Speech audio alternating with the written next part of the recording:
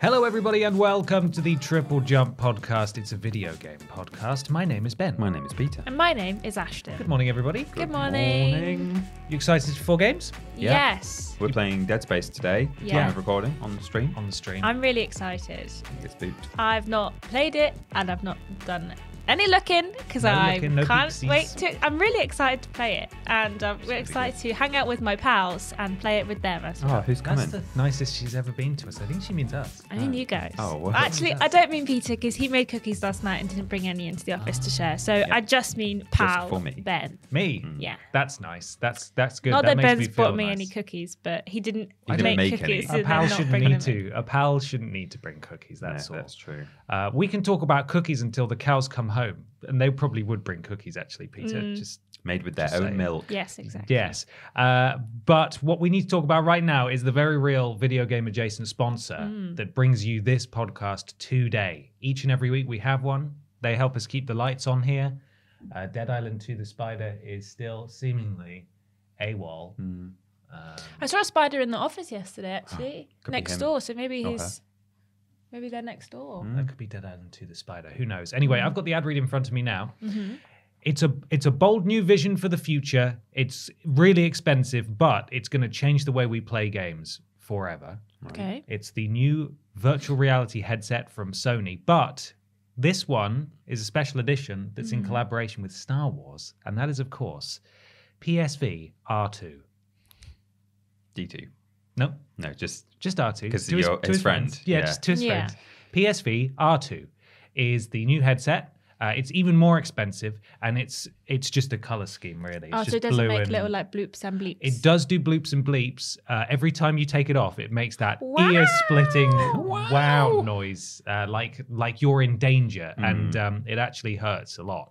But you pay extra for that. Are they going to Ah. release any sort of companion hardware PSV 3PO? 3PO. PS, PSVPO, uh, PSV V3PO, possibly, possibly. We'll Okay. we'll have to wait and see. Currently, it's just PSVR two. right? Um, uh, they did talk about doing. I'm trying to think of another one now. Um, BB-8. PS PSVRR Binks, uh, but that one. But that one didn't. That one didn't perform too well in the focus testing stage. People No. didn't. People didn't want that. Um, and It you smells stinker whiff, etc. and you always put it on backwards. Get into hijinks. It's terrible. This So, morning yeah. I read an article about Mesa, like the like the test you have to do, and I read it as Misa, and I was like, Isn't Mensa? Me- oh, maybe not Mensa then, but it was Mesa was Oh, the how- word Mesa. But I read it as Misa. Mesa. Black Mesa from uh, Half Life. Yeah, of course. Mesa Jar Jar Binks. PSVR PSVR Two. Space Two is real, but PSVR Two is not real. Ah. Unfortunately, uh, it's not a real sponsor. Um, instead, we are sponsored by our wonderful patrons over at Patreon.com, where for as little as one dollar per month, you could submit questions to this show. Got lots of other tiers available as well. It's very exciting. Please go and check it out if you haven't already. Uh, we really appreciate you, and we appreciate our existing patrons as well. Thank you so much. Yeah. We're going to go shoot an episode of um, Main Menu tomorrow We are at mm. the time of recording. two it's really episodes exciting. actually. It's been a been a while. I think we recorded the Christmas episode in October. October. Yeah. so it's been a long old time since we've mm. been in the kitchen. I don't have strongbow Is that cans like, anymore. is that like six months? It's like half a year. Probably, yeah. Yeah. Just about. Almost.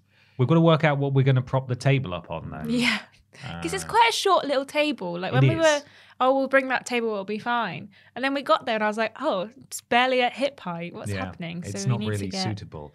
I'm trying to, yeah, I'm trying taller to think table. what we Something, four things that are all the same height, or Got any maybe two long things that are all. I don't have four.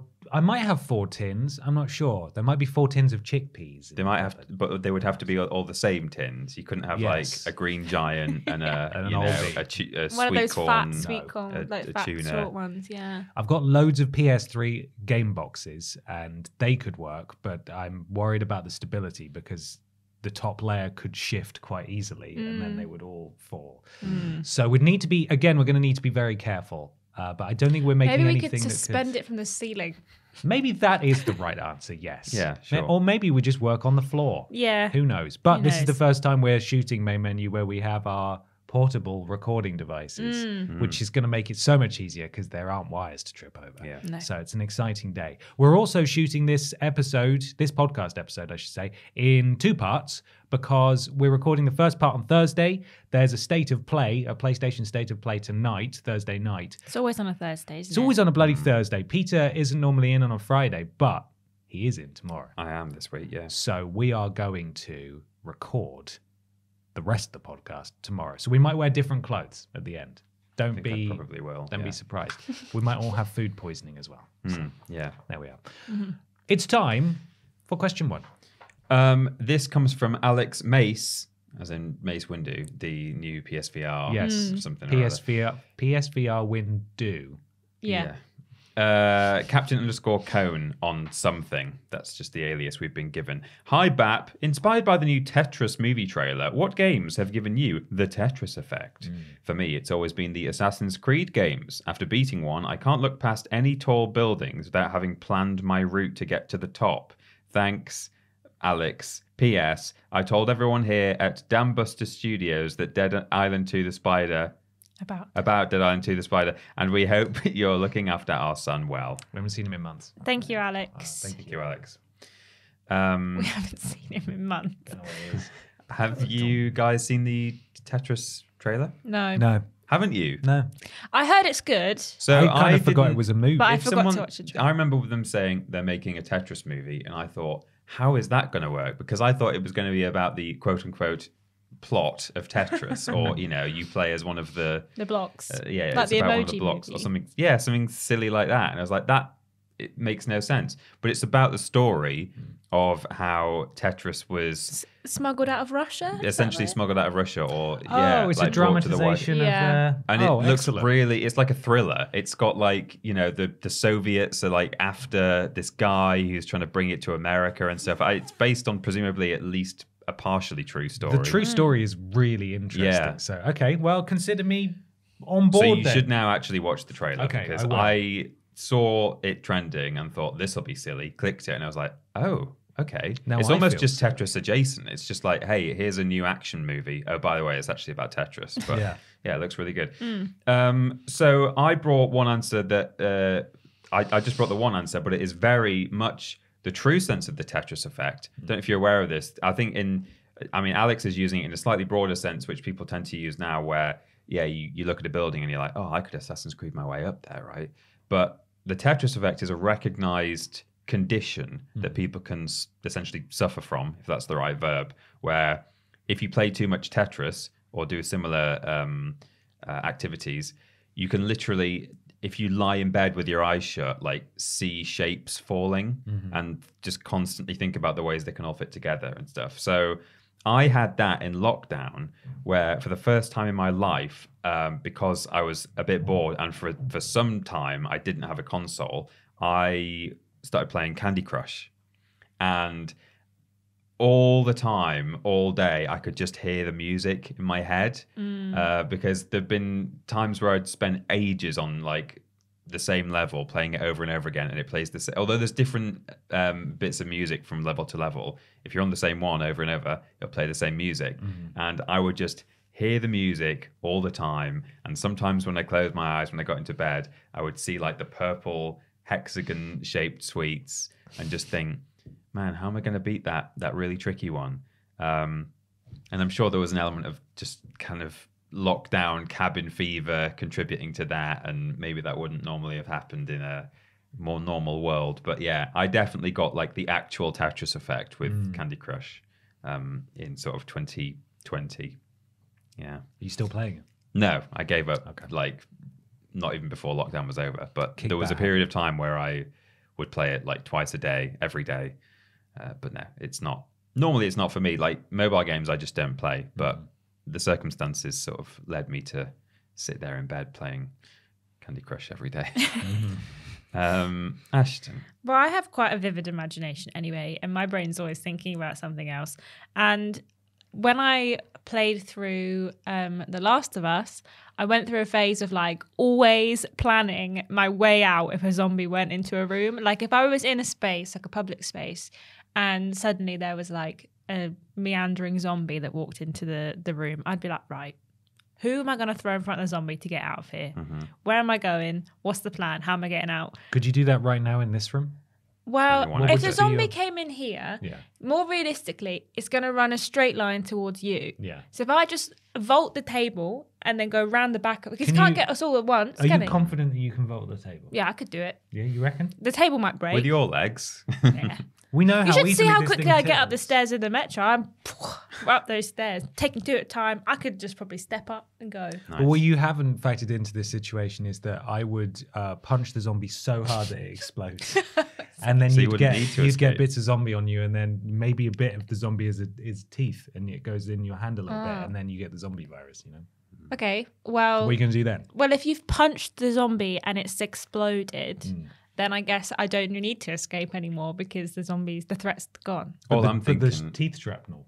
yeah. But the teeth, surely the uh, just a tooth coming near me isn't going to give me the Well, zombie. if it's got zombie saliva If it's on got it, zombie bits on it and goes in you, in your hand or whatever, then you might get zombled. You know. Well, it depends what the rule of the zombie is. Yeah, it Well, this is I'm I'm laying it out right now. All I'm thinking is, if there's going to be a zombie pandemic, will I start playing Candy Crush again when we were on lockdown number? Arguably, Number you five. were You a zombie when finish you were playing Candy. That's Crush. Yeah. true. Yeah, that's it. Um, so yeah, this morning actually, weirdly enough, I was on the metro and I was like sat in a seat that was kind of like right at the front of the the carriage, a two seater where no one else could sit next to me, and I was like, hmm, if a zombie got on, I'm a I'm a bit screwed here because I'm in the corner. Yeah. So I'd have to hope it went like right into the more populated Mm, bit of the train and I could like zip out. But I was like, mm, treacherous. I don't know if I've ever, ever had a zombie plan in a room or a building, but I do sometimes think, particularly on public transport, I if it's kind of quiet, I sometimes find myself looking around thinking, if we uh, were like going through a tunnel and the train broke down, and you know there was a survival situation, this is like the the motley assortment of people that in the movie, the disaster movie, Yeah. this is like the team that I'm with. There's the big tough jock man. There's like the nerd Yeah. who is probably kind of going to come up with kind of like a cool solution to something. Mm-hmm. There's the motherly nice lady who's going to look us look after us all. Yeah. I definitely like look at all the characters who I'm in a room with Yeah. or a lift. You like typecast everyone. Yeah.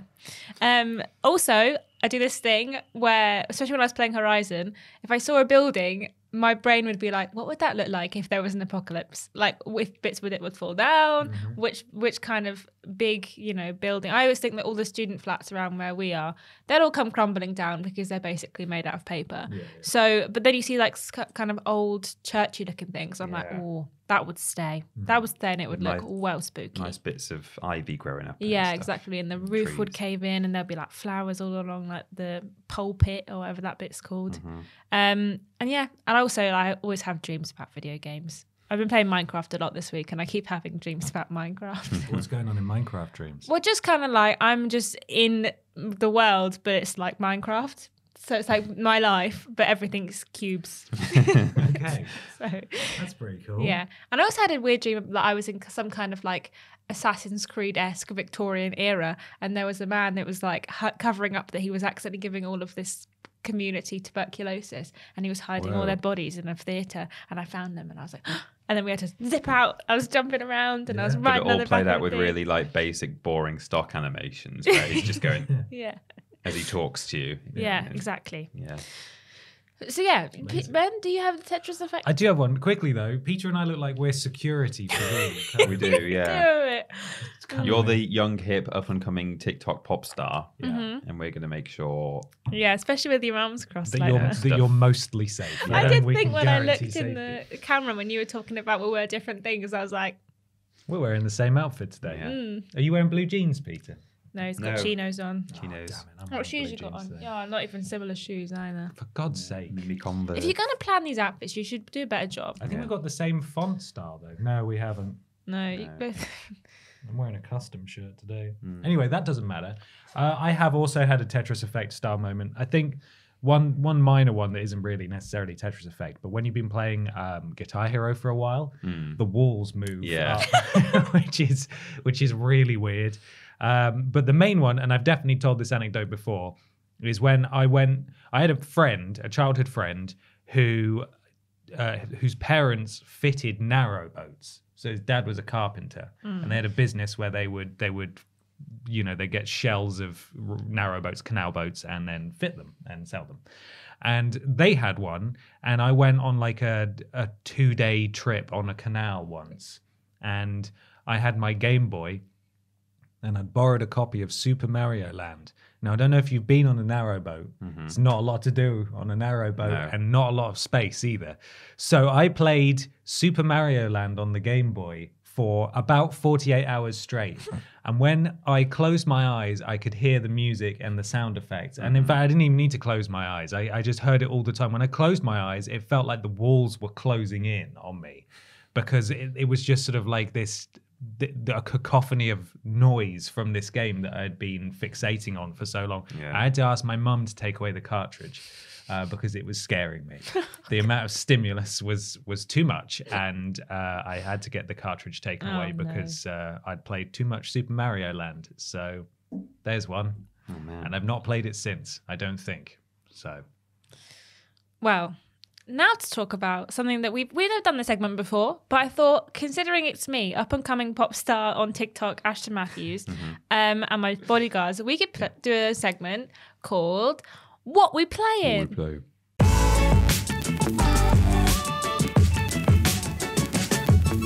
It's what we play in time. Time to talk about the games what we have been playing. Peter Austin, what we have been playing. Uh, I have almost, I think, finished Dead Space. Um, I won't talk too much about the story, given that we're literally about to start playing it today. But just again, generally, in terms of how much I'm enjoying it from a technical standpoint, it's really good. And it's better than Callisto Protocol. It's a lot more fun to play. How? Uh, How is how could that be true? I love that game. um, and uh, I, I mean, it's uh, like kind of almost a bit flawless. I would say. Wow. I'm not saying it's like Oh. that's kind of different to it being a, a 100% game though, because it, you know, it's got a bit of. I guess you could argue it's a bit repetitive at times and combat wise, and you know there, there are probably places where it could be even better, but it doesn't have anything that I look at or experience and think this is actually a bad thing. So I've not had any glitches. I don't think that I remember. Um, I think the gunplay is great. I think the atmosphere is pretty good. Uh, I mean, again, the thing I I complained about when we did a, a review corner on it was that sometimes, occasionally, a necromorph will somehow creep up on you, and not in what feels like an intentional "oh, we got you" kind of way. It's just mm. like. No, I was I was in a combat sequence and I killed all the ones in front of me, and there was one behind me that I didn't know about. The music stopped playing, and then suddenly I got attacked from behind, swiped, and why are these really really noisy mutants sometimes creeping up on me um, which seems a bit odd. But other than that it's just it's super fun and uh, i'm looking forward to you guys playing it. Uh, the other thing i've been playing we will get to in review corner uh, but it's the game i've been talking about for a little while saying oh i've got something to talk about. Uh, it's now out. It's clive and wrench mm, clive and wrench um, which is a new 3D platformer style game um, by an indie developer. And as I say, we'll talk about it in a little bit. But uh, I've been playing that on and off for past couple of weeks. And I'm very much enjoying it. Feels good to play. And yeah, I won't say anymore because I'm about to do all that in a bit. But that's what I've been playing. Ashton. I've been playing a few things. Um, I finally went back and finished the final boss fight in Jedi Fallen Order. I literally just had that one like five minute bit to go. I just hadn't gone back to it. I kept forgetting, but it's done now. Finished it. Um, so I'm excited for the next one to come out. I also played some more Mafia Definitive Edition at the weekend. Um, I'm enjoying it. It's kind of like a bit kind of mind numbing because you're just going drive to this location, shoot some boys, drive to this location. But it's all heating up now, so maybe some more stuff to do, which I'm quite excited about. Um, played some more Disney Dreamlight Valley because they've introduced two more characters. So Who you got? I got Olaf and Mirabel from Encanto. Okay, yeah, yeah. Yeah. And uh, yeah, I just that game's great. And every time they add someone new, I play it for a week. I finish off their quests and then I put it down again. So I'm enjoying it. I think it's great. And then I also am currently fixated on playing Minecraft, um, specifically the Vault Hunters mod pack, which ha- films have been playing Yeah, through they've on playing their that. channel. And I've been watching the series. And I said to my Ben, I said, we have to play this. I, I, What is it? It's a mod pack where mm. like you basically have the, make these vault stones and you go into these like procedure generated like vaults. So a portal will Yeah, you- appear and you go through it. and then you can like get loot and if you die in the vault you die in real life. No just kidding. You just get kicked out so you don't get any of the xp and then you can like upgrade like a skill tree inside the mod pack in minecraft and it's, mm-hmm. it's pretty fun to be fair and i really mm. enjoyed it. Um and i keep whenever i get home from work like hey can we go play minecraft? So much so that ben's had to be like i'm not turning the server on you need to play something else you need to Finish your mafia. yeah, first. come and have dinner. Stop playing Minecraft. Um, so I'm really enjoying it. I think it's great, and I'm gonna keep playing that for a while. I think. Nice. So that's what I played this week. Oh, also, Yeah. um, a new mobile game that I'm fascinated by as Oh. well. Okay. I tweeted about it this week, and I've actually not played any Project Makeover this this, week. No Project Makeover. It's called Bloody Snack hell. Bar, and you basically run little restaurants, and they're run by cats. Mm-hmm. And you have to like, it's basically just a tapper. Like you get enough money, and then you tap the next thing to upgrade it and stuff. I love it. Mm-hmm. I'm just sitting on the metro, just tapping away to my. It's just great, and it's cute. It's got little cats in it. And my cat's wearing a little hat, and it's got a wand. And a wand. It's got a wand. Nice. You've also played a game that you're going to do on Review Corner, haven't you? I don't know if you've played it outside of your stream. I haven't yet. I haven't. I've been playing too much Minecraft. Which reminds me, one I knew there was something else I played. I essentially replayed everything I did on the stream uh, in Hi-Fi Rush outside of the stream because I was like, I bet I've like missed some little some shinies and stuff. So I was like, I want to play this game properly now. I'm probably not going to be streaming episodically, so I was like, I'm just going to restart it at home and now just play it in my own time. But yeah, that game's great. I'm really enjoying it, and it's like surprisingly easy to get to grips with the mechanic. I was like, I bet I'm going to be rubbish at this. Yeah. But um, you just just make sure you tap into the beat, and it's it's kind of simple. We had the news today at the time of recording that Shinji Mikami, head of Tango Gameworks, is going to be leaving the studio Yeah. soon. Uh, of course, that. Shinji Mikami, best known for creating Resident Evil, Mm. essentially. And then when he went and founded this, everyone had very high hopes for the horror output of the studio. They made The Evil Within 1 and 2, which were not the best, not the worst, not the best. Mm-hmm. And then they sort of came out of nowhere with Hi Fi Rush, which it seems pretty evident he wasn't that involved in. So either they have been, excuse me, have been working on another horror title, which will be announced soon, or he's just kind of done. Yeah. And you could probably expect Tango Gameworks just to make colorful things from Yeah. now on.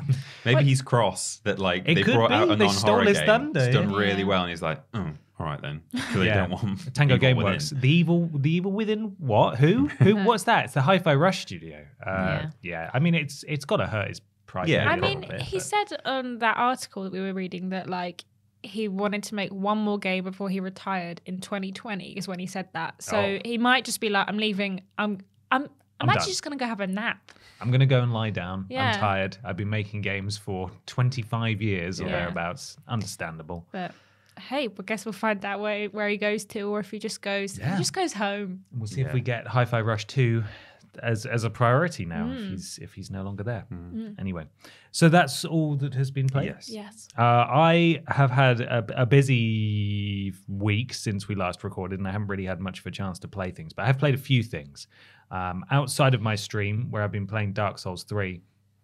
I've been running around and getting items because I'm massively overleveled, and I just kind of want to go for a little explore off stream because I'm mm-hmm. trying to try not to stray too far from the beaten path on stream so we can get the game done. And man, Dark Souls Three is so good. I love that game so much, and it's so nice to play it after playing Dark Souls 2, which I regularly criticize. And some people don't like that because a lot of people do really like Dark Souls 2, but I don't. And Dark Souls 3 is just oh, it's it's got all the benefit of the knowledge they have from making Bloodborne and it's just way faster. It feels like a more um what's the term? uh focused not necessarily focused linear perhaps version of elden ring i'd say that the the the combat in elden ring is is far more like dark souls 3 than any of their other games. And so if you really liked elden ring and you haven't played any of the dark souls you should play 3 it's really good. Uh, beyond that i've played a little bit more golf story on the switch. Um i've just won the wellworn open. Thank Congrats. you thank you. Thank you very much. Well A golf clap. um, thank you, thank you. I'm hoping to go pro soon. Uh, it's getting hard though. The game's getting really hard, and uh, I'm all right at it, but it can be pretty brutal in terms of well, You didn't do it in this many shots, so start again. Uh, but I'm I'm enjoying the sort of the little story that's going on there. It's still very entertaining and quite funny, and uh, that's great. I'd recommend that. Outer Wilds, I booted it up. Uh, I was being tattooed all of Sunday, and I booted it up on Monday. Um, got to the, I think I, I pressed continue, realized again quite how open that game is in terms of go on, go do your own thing, and then I closed it again because I just could not. I was just couldn't be bothered. Uh, I will I will play that game at some point. And then I started Gotham Knights, which I played for about half an hour. And that game has a really good opening because obviously the premise is that Batman has he's unalived, and the opening is the the events leading up to Batman being unalived, and it's a fantastic cutscene. It's really really good. And I played the opening tiny weeny bit, but the only thing that stuck out to me so far is that when you have to agree to all the privacy stuff when you boot up new games these days, there was an option that said, "Do you want us to not sell your data?" Like, uh, yeah, please don't. Why? I mean, it's nice to have the option, Yeah. but it's Thanks also kind of a terrifying glimpse into the world that we live in. So, uh, thank you, Warner Brothers, for giving me the choice. I want to play Gotham Knights, but my boyfriend doesn't want to play it with me. He's Oh. like, oh, I'm not really interested in that game, so I can't justify buying it because I'm like, well, I'm going to play it through on my own. Uh, I, I, I don't know any. together? I don't, I don't know have the anybody. game. Well, Ashton doesn't have it. Get the game. I don't play it know with anybody else who has it or is interested in playing it. I could play with randoms, but quite frankly, I'm I'm in the mindset at the moment now where I kind of want something brainless to play, where I mm. don't really have to think or listen you want to another story. Saints Row. I want another Saints Row. I want to get to the And point. so do in- you. Yeah, basically, yeah. I'm trying to get to the point in Gotham Knights where the initial story stuff is out of the way and all of the things I've heard about in reviews come to fruition, which is you just get dumped in the open world and have to do mindless side stuff for like hours. And that's Bliss. that's kind Bliss. of I want a brain dead game and that's kind of the point that mm. I want to get to, but I haven't got there yet. They're still all talking to each other about Batman. Who are you playing as? Who are you going to play as? Batgirl. Mm-hmm. I'm, I'm playing as it was. It was a toss up between Batgirl and Nightwing because I do like Nightwing, but then I thought I'm going to play as Batgirl and give that a try. Hmm. Um, she's got the Bat Cycle. Doesn't control The Batsicle. the Batsicle. It doesn't control brilliantly in the bit that I've played so far. But hey, you know it's early days. Hey. So I'll report back on that next week, hoping to play a bit more this weekend. So there we are. Well, I think it's time that me and Peter head over to Review Corner. It's there. Oh. There it is over there.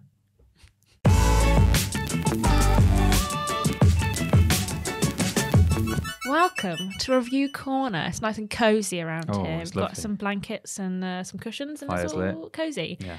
Peter, Mm. you want to talk about this game? This is that game I've been saying, oh, I've got a game, been Yeah. playing it, uh, but I can't tell you what it is. I've been wondering. I've been racking my brain. It's not an exclusive at all. But thank you very much to Numskull Games. Numbskull, as in they're a sister company to you know the ones who do all the merch and stuff. They Oh, do yeah. like kind of licensed um, stuff. It's not the same company. It's a distinct entity, but they they're like a sister thing and Oh, they cool. publish games. Um, so Numskull sent me a code for Clive and Wrench, Clive and Wrench, but you know you drop the But it's letters cool. because you're cool. Yeah. Uh, which is available for PS4, PS5, Switch, and Steam. It's out now. It came out on, I think, Friday. Um, Hmm. So you might look at, so- well, well, I'll start immediately by saying this is a 3D platform, kind of mascoty style collectathon Right up your alley. right up my alley. It's got your furry fr- furry friends, um, and in the kind of Banjo Kazooie or Ratchet and Clank style, you've got one character on your back who you use in a number of ways. One of them is by swinging him around above your head like a helicopter, so that you Brilliant. can glide. But I wanted to quickly say, while this footage is running, if you're watching on YouTube, um, you might wonder why the, the world looks so empty. And that's because um, I played through the first couple of levels at home in my own time and didn't capture footage of me going through and 100%ing them and collecting everything. And then I got to the third level, and I do have footage of that with me collecting things, and you'll see the items in the world there. But I don't think it's unfair to say that this is probably not the best looking of all the worlds. Right. And I felt it wasn't very it wouldn't be very nice to only show that level, even though that is me actually playing the game and collecting stuff. So you will see me collecting stuff later on in this review corner chat, but arguably in a slightly less pretty world. Right. So at the moment you're looking at some of the uh, kind of nicer looking ones. But it's empty because Peter's just such a pro gamer. Because I'm a pro gamer and I've already done it. I forgot to capture the footage, so sorry about that. But you'll see some collecting in a bit. Um, but I'll I'll get straight in there and just quickly say that the the main drawback of this game, and it's not very nice to start with the negatives, but I'll get them out the way and then I'll be positive, is that visually it is very kind of indie Unity. Um, sort of you you can see that this was i think this has been developed by a single person um as far as i'm aware. And hey he's done a great job of it no question. But it just has that kind of look about it. You can see that it's been developed by uh, an indie developer. And in places the lighting can look a bit flat and some of the textures are not super pretty. Um, but in other places it can look really nice. Um, all right, it's not mind blowing PS5 current gen graphics. It's done very much in a style, not just in terms of gameplay, but in a, in a visual style of, you know, generations gone by. It's more sort of PS2 era looking game. Um, but that's fine if this sort of thing is up your alley, like it is up mine.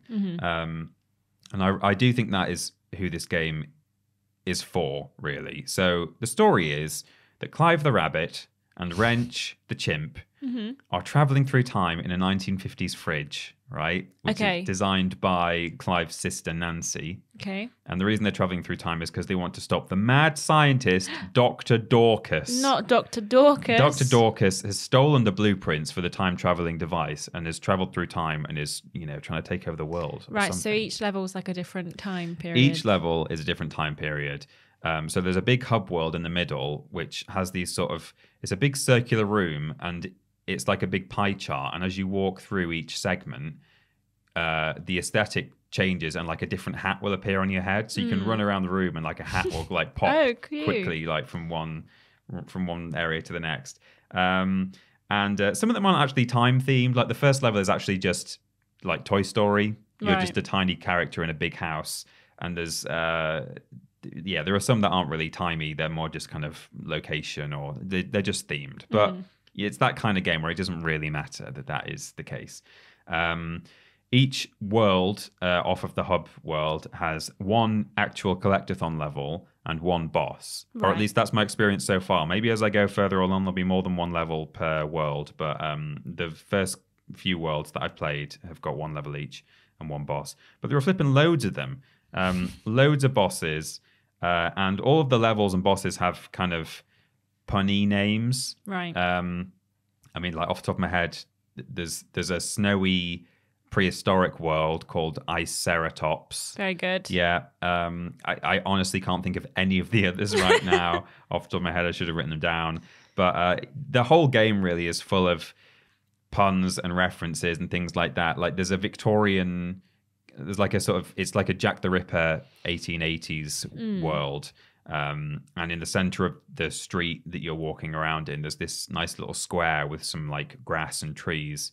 And that's called Nick Park, who is the guy in charge of Aardman, who did Wallace and Gromit. Yeah. Um, and uh, yeah, uh, there's also everywhere you look, like there's shop names and signage, and um, it all has sort of like silly jokes in Mm. So it. there's lots of like detail and stuff in the yeah, there is. Um, again, some of it visually is is not always presented in like the most kind of appealing way, but if you can look beyond that, there is actually a lot of humor to enjoy in, in sort of the details.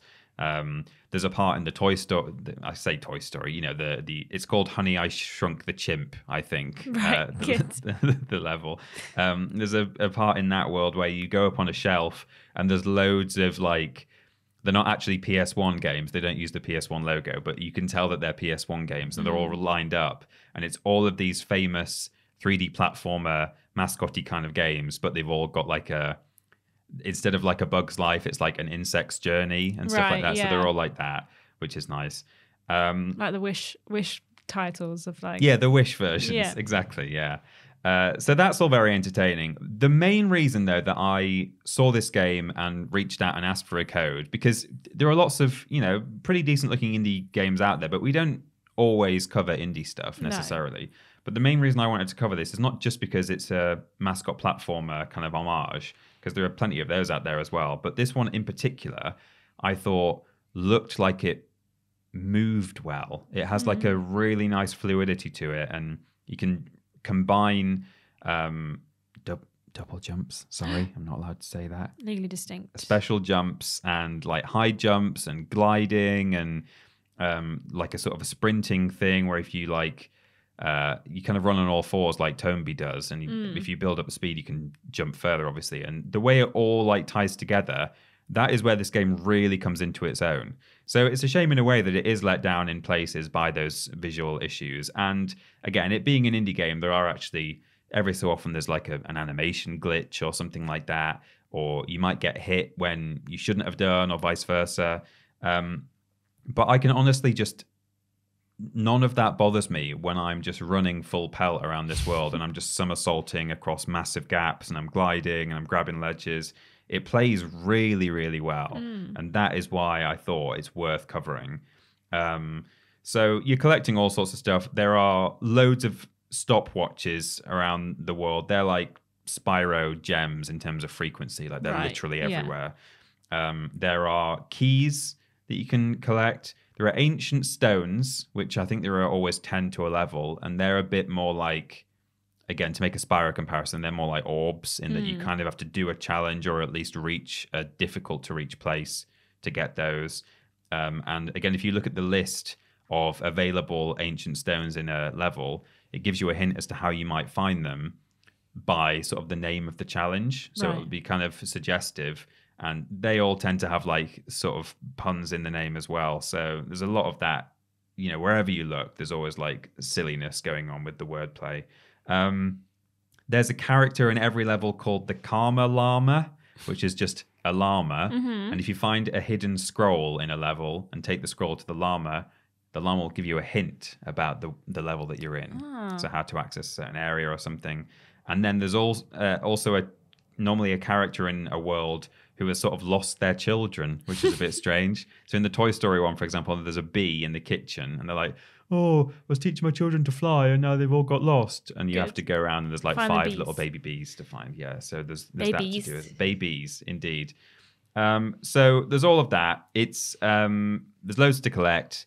The worlds are kind of interesting, um, and I I really like the kind of the care that's gone into it in terms of like the charm that it's got, and as I say, all this kind of wordplay and these references and stuff, and that's all great. And it does have a kind of I mean, the Nick Park thing is is a interesting comparison actually because it has a kind of Wallace and Gromit vibe to it at times, and it's very British as well. The developer is British, so um, yeah. What what it's carried by is the motion and the movement, and like Yeah. if you're into this kind of thing, I do honestly think you should give this a try, purely because it plays so well, um, even though it doesn't always look super super pretty.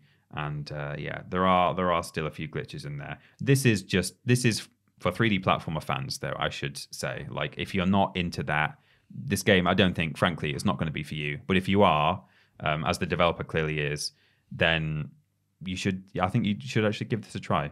And I'll be streaming it as well, so you can have a look there and see what you think. But um, that's that's it. That's how I feel about it. Cool. Um, should we should we just go straight on to what you're playing? Sure, I'll tell you about what I've been playing. Great. Um, I've been playing a game called Joon Shining. And essentially, it's described by the developers, and very accurately, I must say, as a uh, golf like platformer. Right. So essentially, you're playing Crazy Golf in a video game, but it's like a side scroller, essentially. So Okay. the main plot of the game is that you have found a dodo egg. In fact, lots of dodo eggs. Oh. And you're trying to get the dodo egg into the nest to hatch dodos and bring them back from extinction. Right. And essentially, you are like a wizard, like a warlock, and you're in a, you're in training, so you can't really do everything yet. Mm-hmm. Which is why they're like, well, I can't just pick it up and take it straight to the nest. I I'll have to like, toss it in little bits.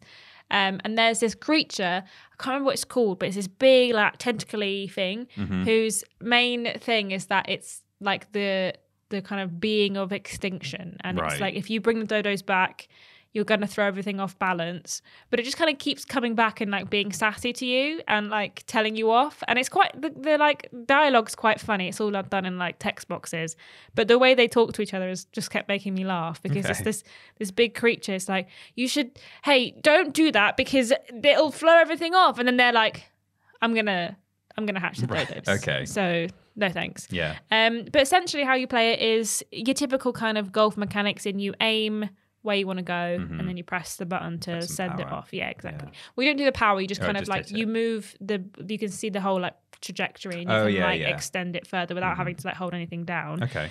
Um, but also while you're in these areas, you can like interact with things. So you can like stop your ball dead if you like Right. hold down on the deep on the um sti thumbstick, or if you can like roll it if you keep pressing up on the Mhm. on the stick. And then you can also press the. Now I- did play it with a controller, but I'm going to capture footage with a mouse and keyboard, so it will look different. But you can basically press buttons to interact with things in the environment. So you can things like bubbles that will get bigger, and you can like bounce yourself off them, or Okay. things like platforms that you can land on or um, things that will just kind of ping you across the map to try and get to where you need to go and it seems like there's different ways to like complete things there are certain levels where it's like well this you have to kind of go this way but once you're down there you can kind of figure out where Right. you're going Okay. and there's two modes there's like a regular like difficulty and then a hard difficulty and then within that there's also normal like point based mode and also a like tourist mode where you can just play the game and you've not got to worry about points or anything you can just get to the end and which i liked and which i played it on because it was just said do you want to relax and do golf and i said yes please I Yeah. like to do that." um Because you streamed this, didn't you? Yes, I did. Yeah. I streamed it this week, and I did. I really enjoyed it. I'm not great at it because I just I didn't think I was gonna be, but it's it's quite difficult in places. Some of the levels are quite easy, and there's like things to collect, like little. I know what they are. They're like mana kind of uh droplets that you can collect, and if you get the green ones and you stop moving, you collect the green one. If you get a blue one, you have to take it all the way to the end to collect it. So it's like a hundred or so in each um, world Right. And there's eight worlds, um, all with different kind of. So the first world is like a tutorial world. The second one's those same mechanics, and the third world is a water world. Mm-hmm. So your physics change on how your ball like moves. so you have to yeah. kind of like compensate for the like drift or the low gravity of the water Mm-hmm. because you're you're underwater. Um, and there's all different kinds of things to include. There's also like a machine world and an oasis and a cosmos, which I assume will be like low grav stuff as Mm. Yeah. well. Mhm. Um, but it's really interesting and it's really pretty as well. Like visually looks really, really nice. Lots of bright colors and like different kind of, you know, settings that are all really nice. Mhm. And I just think if you like golf games and you fancy yourself a little story based one where Yeah. you're playing kind of crazy golf, then I do think it's uh, one that I think will give people a lot of fun. It's not, I don't think it's an, an incredibly long game, Yeah. but I think you can keep replaying levels to like get all the collectibles and stuff and, Mhm. and do that kind of thing. I think that people will really enjoy that. Um, it's their, I think it's their first game um, from this the indie studio that developed it. Um, it's available on Steam now, and I don't think it's available on anything else. But I think if it went to Switch, I think it would do really well on Switch as Right, well yeah, because you can play it with a controller.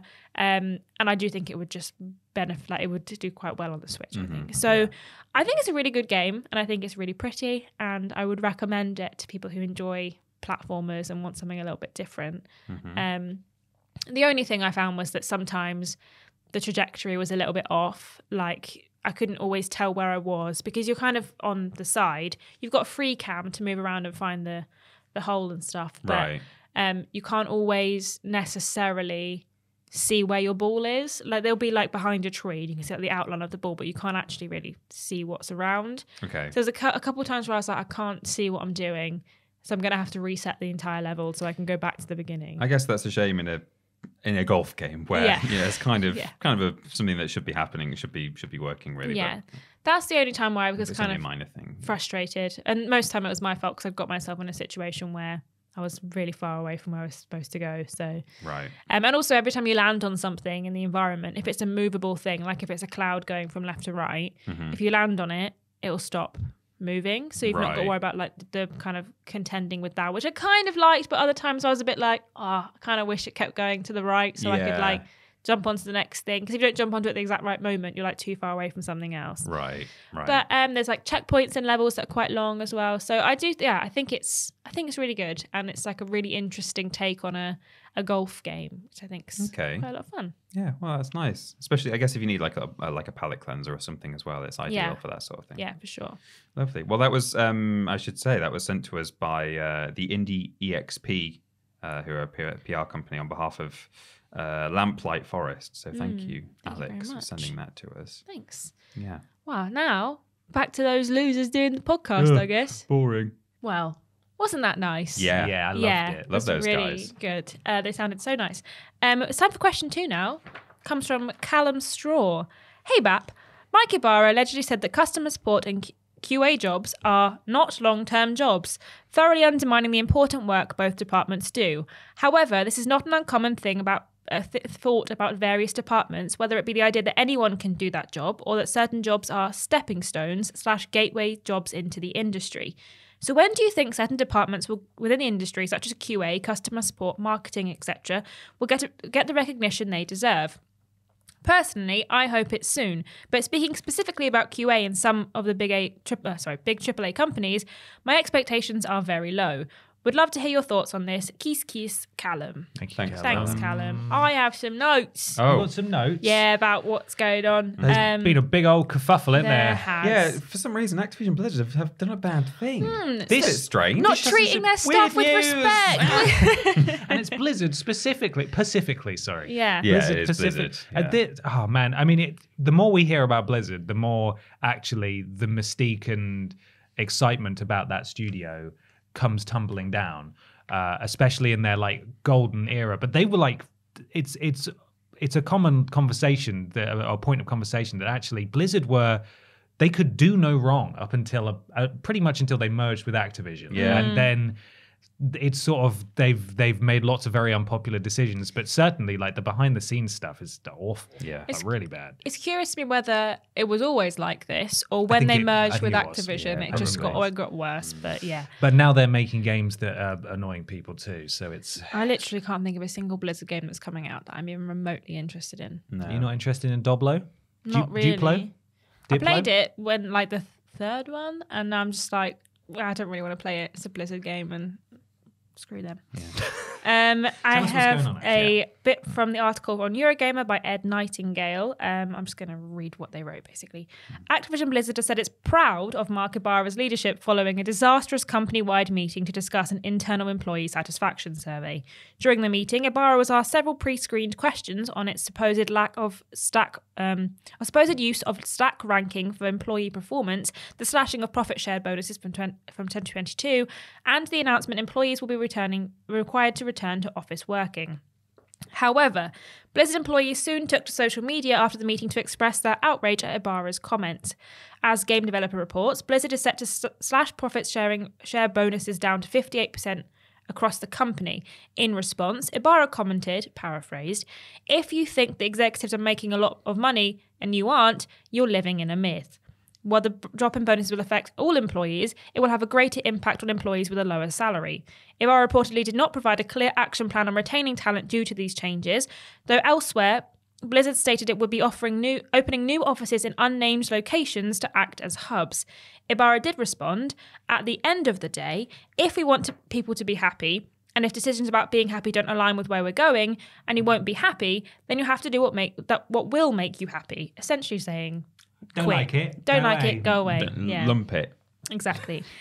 Employee concerns around financial difficulties were especially strong in the quality assurance and customer service departments, to which Ybarra reportedly replied, Some of our disciplines are not long term disciplines. As Activision Blizzard spoke an Activision Blizzard spokesperson responded with these areas considered not long-term disciplines because the company wants people to grow and take on expanded responsibilities and opportunity. QA testers at Activision Blizzard studio Raven Software last year won a vote to unionize in order to better support employees in these departments. Um, an Activision Blizzard spokesperson told game developer, Blizzard stands by each of these statements and we're proud of Mike's leadership in tough moments. But if you go on Twitter and you look at people who work there, Yeah. there was tweets that were like, I've never been more, I've worked in the industry for 10 years, I've never been more embarrassed of leadership and just general discontent among Lots of people feeling really undervalued and Yeah. and unimportant, Mm-hmm. uh, which is not not a great thing for a leader to make their staff feel. No, no. I mean, it's even if he is of the opinion and maybe has some stats to partially back up the idea that okay, some people get into QA as a stepping stone because you get that in all industries. There are certain jobs that are a, a good way in, a foot in the door. Uh, even if he knows that some people are doing that, he must know that not everyone is doing that. Some people probably actively want to be in QA or marketing in in games or customer support. Uh, you know, maybe it suits them. Maybe it's something they actively want to do that role, or that role suits them because of their lifestyle for whatever reason. So to just say that publicly, that you're essentially a bit of a throwaway and we're not interested in It's not even a public comment; it's to them. Yeah, Well, yeah. directly to them. That's true. It You're- wasn't a statement. out. Yeah, you, you, you specifically. uh, you're a short. Uh, you're not a long term. Whatever it was. The quote. yeah, Yeah. Um, so I mean that's terrible. I think we were talking about this before we actually started recording, and like I think our main stance is that God, more of them should unionize. I mean, it, it's good to hear that Raven have done that. I didn't know that actually until this article came out. Uh, that was last year, wasn't it? Yeah. Um, but yeah, God, it sounds like a, a pretty well. It must grind you down to hear that from the top. That that's basically what you're thought of. you're expendable. Yeah, and then to have this this slash of the profit sharing as well, it's uh, yeah, it's enough to make you think, okay, you know what, I will go somewhere else if you can, but you can't always. So uh, yeah, it's sad news, really. Yeah, I think the the when do you think certain departments of the industry will get recognition Yeah, is genuinely just when they are treated with respect because they make a point of make saying you can't treat me like this and I'll We be will fine all with strike." it. We will all strike Yeah. or we will all union, unionize. I've said it before in regards to I think the Hogwarts Legacy discussion about developers being let go if the game doesn't sell well. Mm-hmm. But you know, these things you need to unionize. Every every industry has unions for a reason, especially in the country at the moment. We see a lot of these unions in action doing what is good work to try and get average people the money they deserve or the recognition they deserve. And things like in- ignoring QA and just focusing on things like customer service and marketing, their their games wouldn't get sold if people didn't market the games or they didn't support the customers in their purchases or post game releases. You know, if people didn't post anything, if you didn't tell anyone about your game via the marketing department, then you wouldn't get any marketing done and no one would buy your game. So the thing about it is that whole iteration of I am invaluable and you need to realize that I am invaluable or you're going to be screwed very quickly. Um, this guy's comments are just, oh man, I wish I was in the Slack chat when he was making these comments just to see people's reactions and like hear what they were saying. Apparently, they could only react with emojis. Yeah. Yeah. During because it was all done over Zoom. They had like a separate Slack chat that they were all talking Mm-hmm. in, but the the emojis were the only reaction in Zoom, and I wish I could have seen all those thumbs down coming through. yeah, angry faces. But unfortunately, Activision Blizzard have learned absolutely nothing from the last few years. And I think that they haven't been punished really for what's been going on. Um, Bobby Kotick, still the CEO, still going around with Microsoft, holding their hand, saying, We want our deal, please, and then I can leave and have all my money. Um, he's Golden parachute. Yes, exactly. He's still there. This guy's still there. Him and um, I don't know if you read the article. Um, the game was it game, Game developer. developer article, Um, yeah. they talked about how when Mike Ybarra took over, he was a co like head with um, a female member of staff. I can't remember what her name is. I'm sorry. And she left after a few months because she was like, "We're doing the same job, and I'm not being paid as much as he is Oh man, for the same Okay. job."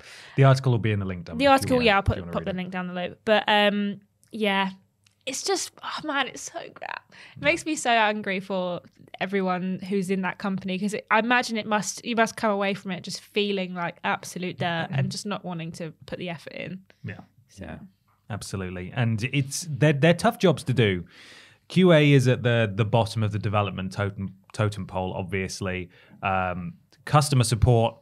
You don't want to do that in in any industry, um, but it No. really is the the the the flip come you know comes downhill basically. The, the customer support is having to deal with the decisions made by the guys at the top in in you know the business side of things. And qa is having to try and identify issues within the development cycle.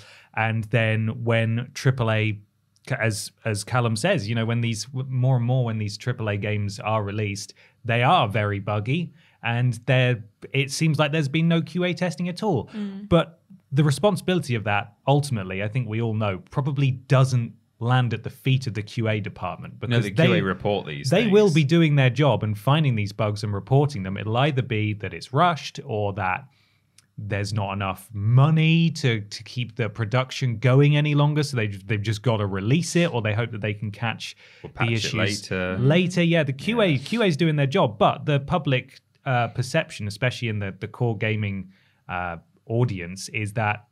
Oh well, the QA's crap on Yeah. this. Do- Do the QA team do anything? It's like, I'm pretty sure they probably did do something. They maybe just it wasn't acted on at Yeah. all for whatever reason.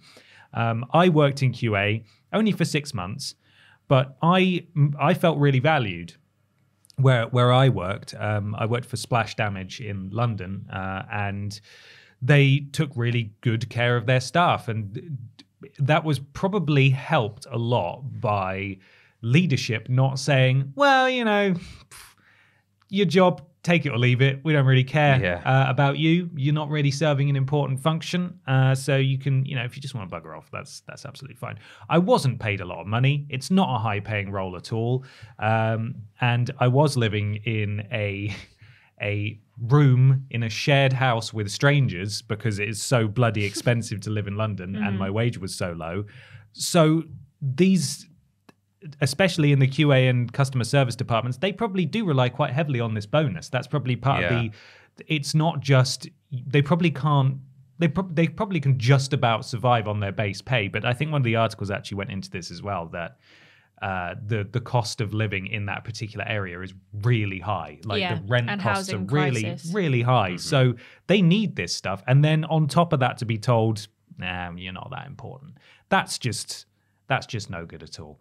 Uh, he is 100% correct, though. A lot of people do go into QA to to further their career. Yeah. I worked with a lot of people who were spec- who, after voicing their intentions in terms of like the kind of stuff they'd be interested in in game development, were specifically placed to work within certain departments as the QA liaison so that hmm. they could work with those guys, hmm. like in the art department and stuff like that. So they would go attend daily meetings. I attended daily meetings in the sound department, not because I wanted to go into sound design for video games, just because it was the thing that seemed most relevant to my existing skill set. Mm-hmm. And I was very bored at that job and watched a lot of WhatCulture and eventually left and worked for WhatCulture. so, you know, people do use it as stepping stones, but a lot of people don't. A lot of people Yeah. do this job and they're passionate about it. I worked with several, you know, there's always senior people in QA. Yeah, of that- course. and that's their job. And, marketing. and people who've worked there for a long time to hear that, that's crap. That's no good at all. Beyond the the specific financial implications of not having enough money to pay your rent because you're in a lower paying department to then have the morale hit of being told you're unimportant is that's mm. I guess he thinks that because it is, for some people, it is a, a foot in the door and a stepping stone. He he maybe rightly assumes that they're replaceable in the sense that mm. There will always be someone who wants your job. Yeah. that doesn't mean it's okay to say. there's a way to don't- say Yeah, it. exactly. there's Yeah. a way to say it it. doesn't justify it, but I, I imagine that is what he's actually getting at. There, or Yeah. yeah, that's to play devil's advocate. Yeah. There may be further clarification provided, but the fact that the follow up we've got so far is that Activision's really proud of him is is not good. Yeah, Uh, yeah, bit of a disaster, really. I hope those um, I hope those staff uh, are all right and Yeah. they they get some something changes. Apparently, he's he's listening to team feedback, so we'll see if maybe some decisions he's are reversed. looking at team emojis. Yes, he's looking at angry, frowny faces. and Yeah. maybe that'll change. Hey guys, Mm. unionize. Just unionize. That's good. You can put that on the side. We're not in a Hey, Hey, guys. Hey guys, Unionize. unionize. Well, we're not in a union, but we're also not in a ginormous company. No, No, we're not. And you know, if you have an issue, you can talk to us about it. I just come in and Yeah. I grab Adam by the throat and I say, "Oi, Hey, She Give did me a that day off. once, Pay me double. And she was she was warned. She was close to being fired. No physical altercations whatsoever. No. Thank you mm. very much. So now I just come in and I just do this. just from a distance, Yeah. just hey, it's like, Hey. like a Jedi. Yeah. Peter, Peter taps me on the Give me a shoulder. I think. I think Ashton wants to talk to us. Yeah. She's not using her words though. No, she's trying to force choke me again. Right, it's That would time be for weird, something. wouldn't it? Yeah, it would Yeah. be quite Yeah. strange. Yeah. It's time for weird news.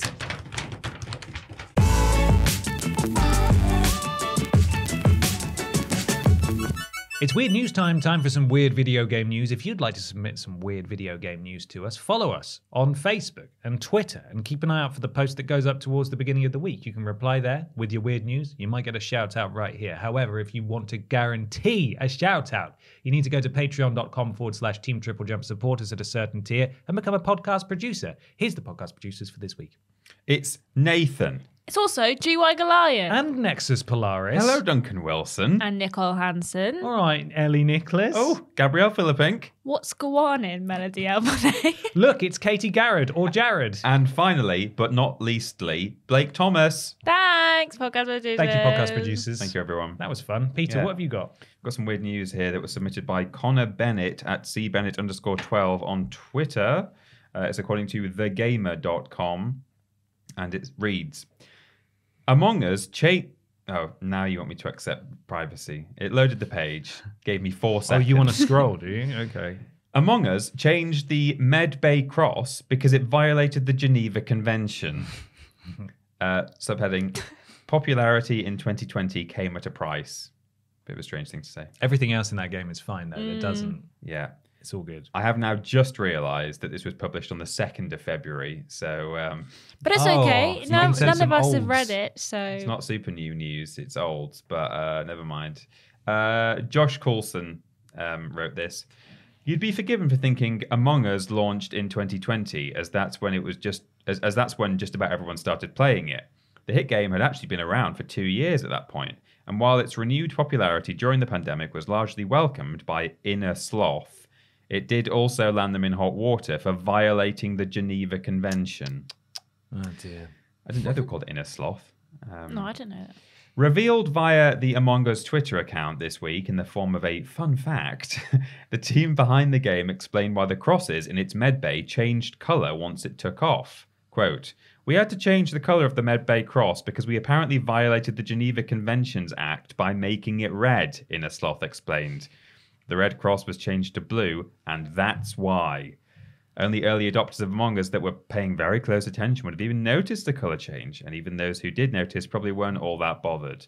It turns out that Among Us isn't the only game to have fallen foul of this. Mike Rose from indie studio No More Robots replied to the post revealing it has failed to receive console certification on three different occasions for including a red cross in its games. Wow. Which is crazy. I didn't realize it was that serious. No.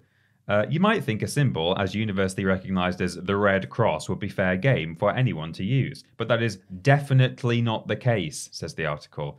Used by various medical associations across the world, the website for the Canadian Red Cross explains misuse of this valued symbol distorts its meaning and its protective value for victims of conflict and the aid workers that assist them. This explains why Among Us uses a blue cross instead of a red one, and also why the majority of games that include medkits make them red with a white cross rather than the other way around. Do they? I would have ah. said white with a green cross is kind of the Green one cross is common. I remember some early video games that were white with red crosses, but I maybe feel like that was I before remember it was that, sort of but- policed. But yeah, I, d- I do. Yeah, a red with a white cross does seem does seem familiar. And the green cross, I think, is also yeah sounds sounds familiar. Mm. So there you go. If you do stumble upon a game with a red cross on its medkits or hospitals, it either doesn't know that that's a big no-no, or it has been warned and it simply doesn't care.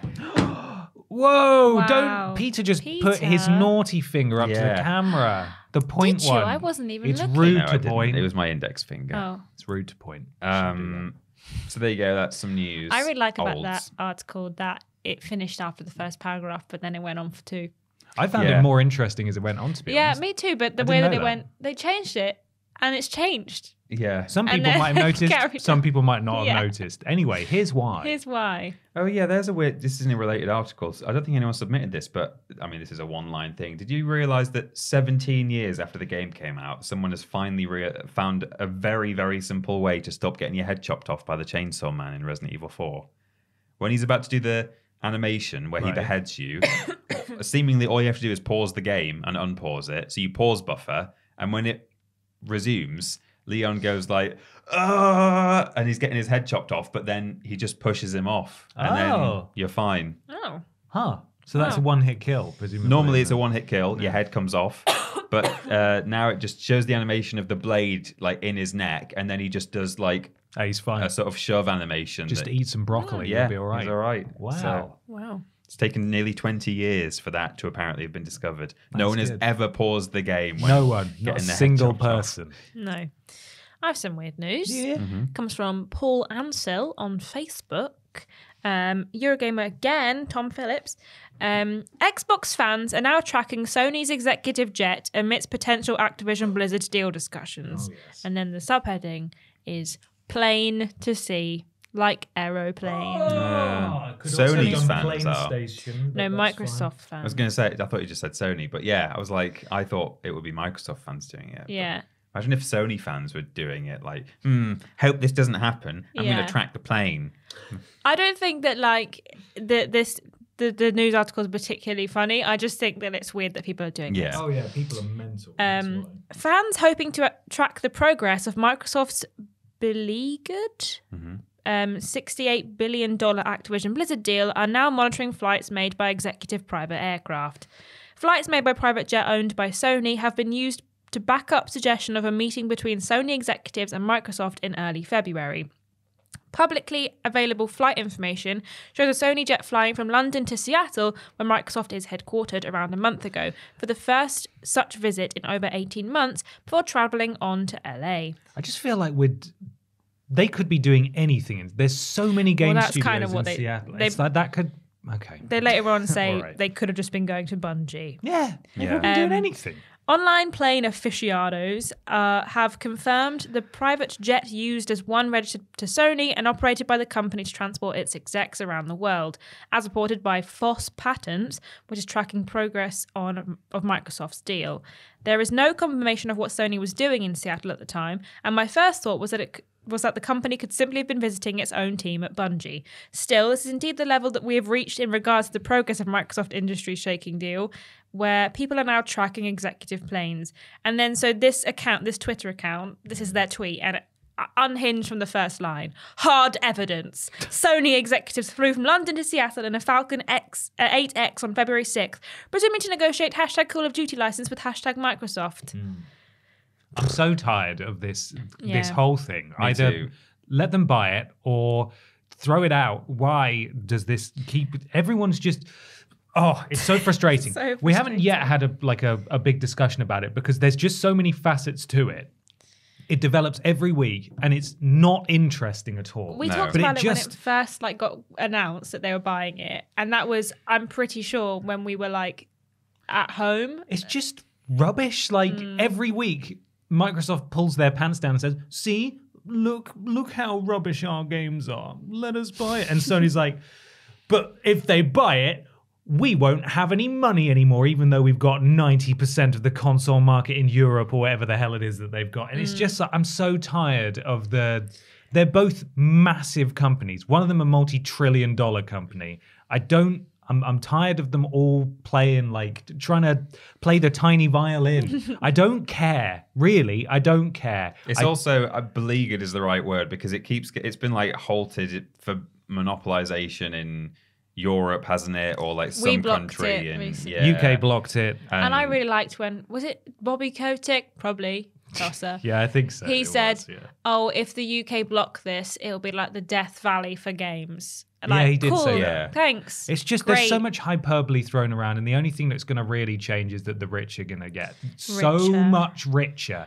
And yes, there will be a time where I, am not. A, f- I'm Really really. set I'm just Ben going off, on. I'm just we? so tired of hearing about about it. planes. I'm so flipping tired of hearing about it. I also really like that they keep making promises about the deal, even though the deal. Yeah, they're, they're doing yet. deals with Nintendo. They don't Yeah. even own it yet. That's fine. Like, we just- promised it'll be on Call of Duty, and people were like, It's all just a that. huge PR spin. Like every week, there's a new PR twist and turn. And yes, there may come a time where Call of Duty's not on PlayStation, and that is going to be a shame. Maybe having it for 10 years isn't such a bad deal. And then maybe it going on Game Pass will be great. I don't know. Mm. I just, I'm tired. I don't think it's, I don't want it to happen because I don't think consolidation of that size is necessarily No. a good thing for the industry. But at the same time, You've worn me down. I don't. I actually don't care anymore. just, Yeah. just, just have, just finish it, please. Yeah. Mm-hmm.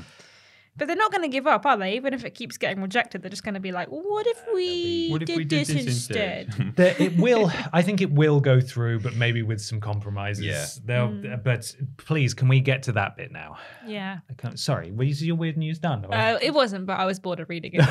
okay. it They're was- tracking the plane. They're They're tracking tracking the the plane. planes, People that need to people are calm really down. into They've it. got too much time on their hands. I definitely misheard what you said as, at the beginning as well. Like when I was saying about Sony, I I thought that the story was that people were seeing if um, Microsoft and like Activision were getting together, but like no, people are seeing if Sony are talking to Microsoft about whether oh what's going to happen to Call of Duty. Yeah, that's even that's actually a bit sadder than because that's like one step removed. That's like assuming the deal happens. It'd be one thing to like see if like, oh look, they're having more meetings with Microsoft and Activision. What could mm, maybe that means that it's more likely to happen or something. Mm. But then beyond that, it's like if it happens, oh look, they're talking to Sony. Are they? And if they are, what? How do you know what they're saying? Yeah. It's stupid. I also just like that they were like, they could be going to there, or they could just be going to visit Bungie. Yeah. Yeah. Like, good job. Hard evidence. Also, Sony doesn't. It's not just PlayStation. There could be any number of reasons that Sony jet was flown. Yeah. To Seattle beyond games. I. Uh, Maybe they just wanted to go visit their family. You Yeah, know? maybe they just went to Exactly. Seattle. yeah. the straws are being clutched. they wanted to go to the Windy City. Yes, look at that big In a needle, plane. eh? Mm. Yeah. Go see Frasier, eh? There you go. There's all Go my, and be sleepless. all my all my Seattle references. I've got some weird news. Thank you to everyone who sent this in. This is from PC Gamer. Valve lured 40,000 Dota cheaters into a trap before banning them in one day.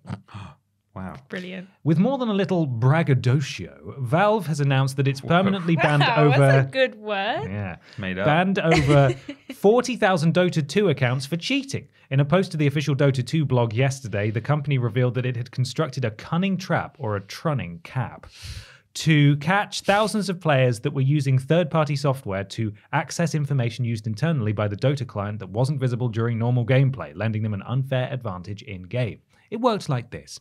Once it became aware of the exploit, Valve released a patch that created a section of data inside the game client that would never be read during normal gameplay, but that could be read by these exploits. Valve says that every single one of the accounts banned yesterday had read from that secret data, giving the company extremely high confidence that every ban was well deserved. Hmm.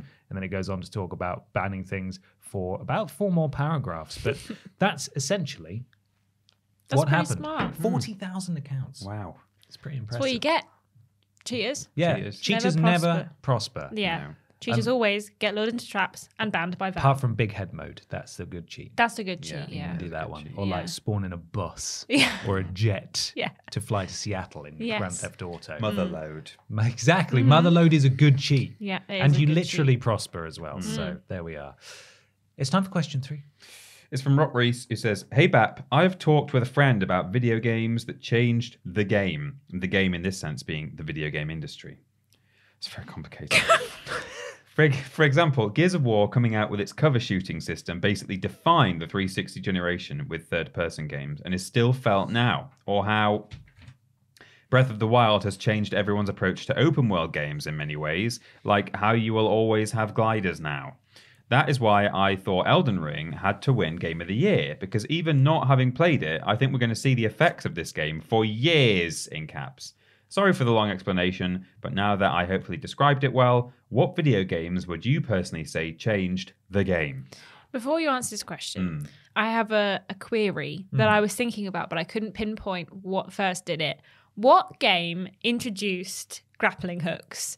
Because recently there's been a big influx, especially in Sony games, of grappling hooks. Everyone's got a grappling hook, everyone's grappling everywhere. And I just don't know where it started, but it's all I can see. Every game, it's well, got a it's sort of, I guess it's probably evolved over time. Like, I bet there's an 8 bit grappling hook out there, like Hmm. in the 80s or something. But There, Yeah. there will be one game that I'm did it in the, in the the- past the like current five In the kind of trend. third years. person. Because what, like yeah. Ratchet and Clank, Rift, uh, Rift Apart, had Doom a, Eternal had a Doom grappling Eternal, hook. Uncharted Horizon, had Uncharted 4 had a God of War hook. basically has a grappling hook. Yeah, it's weird.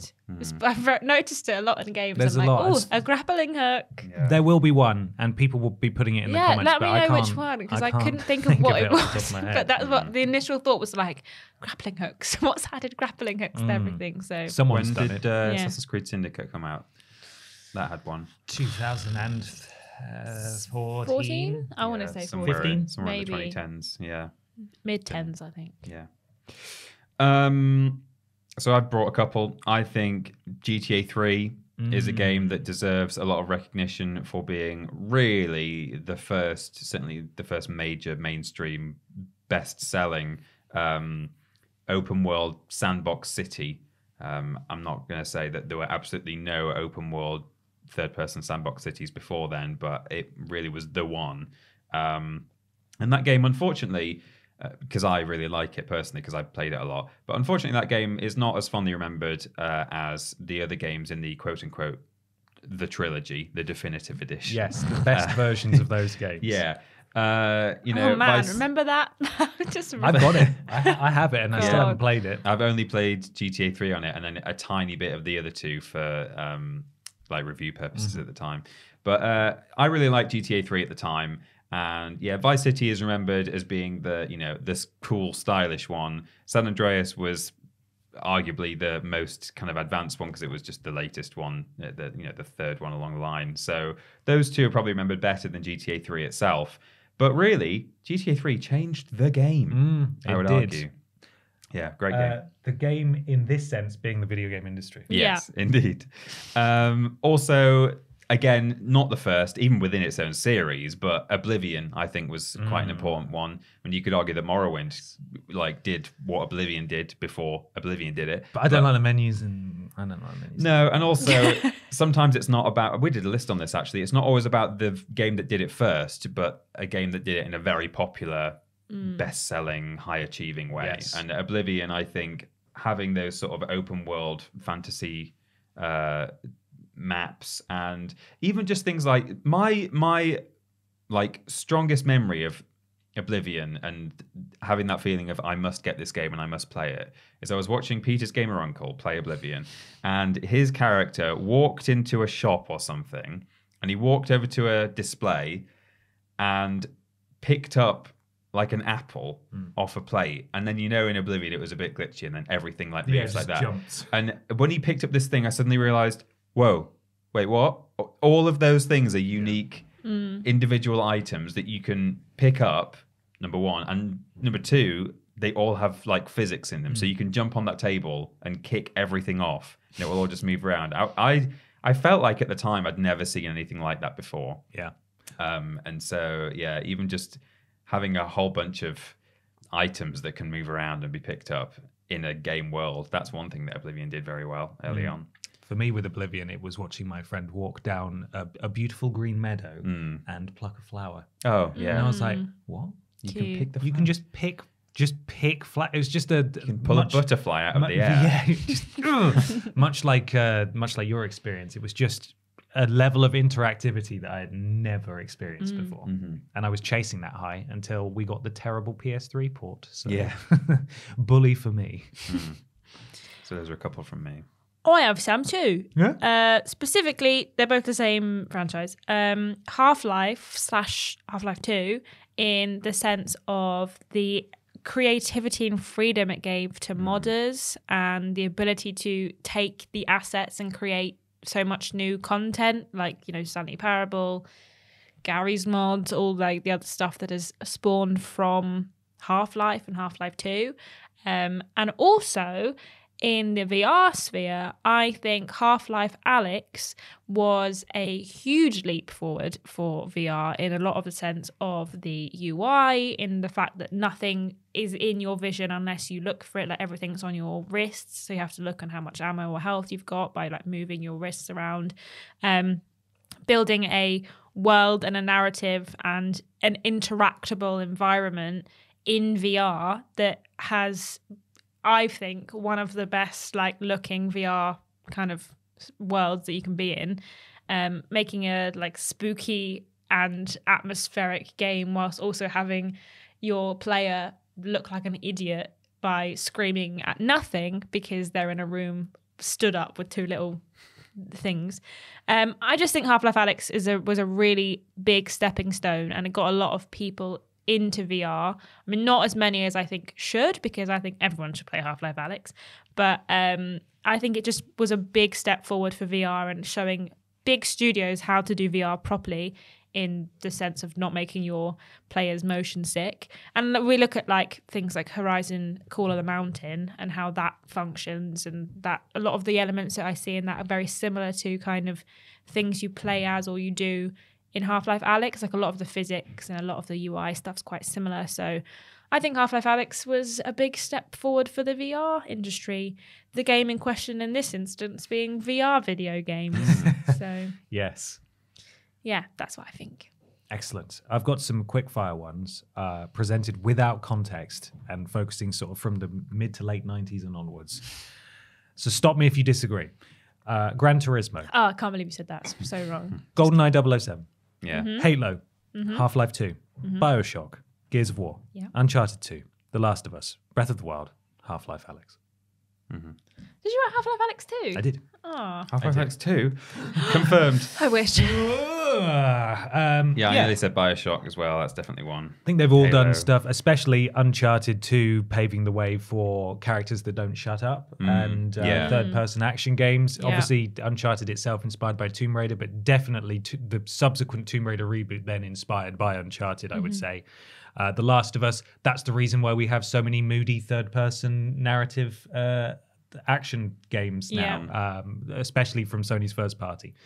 And I think the rest are they speak for themselves really. Uh, they all defined their their eras in various ways. So yeah. Portal as well, maybe. You didn't say Portal. did you? No. Uh, Call of Duty 4, Modern Warfare, I think Modern was Warfare. was a really big one. Yeah. Um, I think Stardew Valley as well. Stardew Valley, sure, yeah. Uh, unpacking, no, not.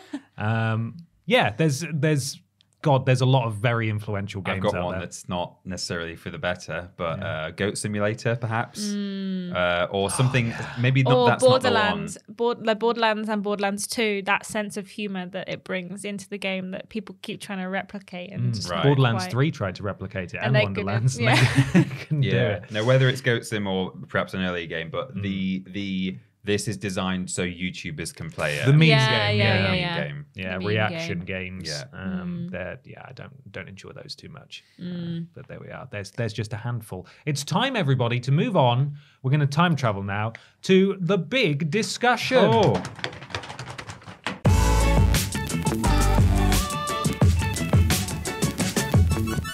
It's big discussion time. Time for the big video game discussion. We've time traveled. It's now tomorrow at the time of Or earlier in the yesterday. podcast, but yesterday if you're watching at the time of release. Time is crazy. Isn't It's it? Friday. Anyway, uh, Joe, our wonderful uh, Discord Discord. mod, thank you, that's the name of the software, Mm-hmm.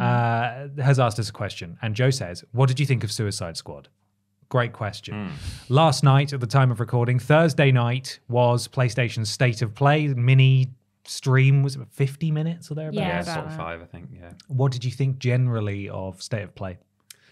Uh, there, I mean, there wasn't m- much there for me. Um, some of the VR games looked looked kind of interesting, but I don't have VR, and I don't, I'm not in a hurry to pay money for it.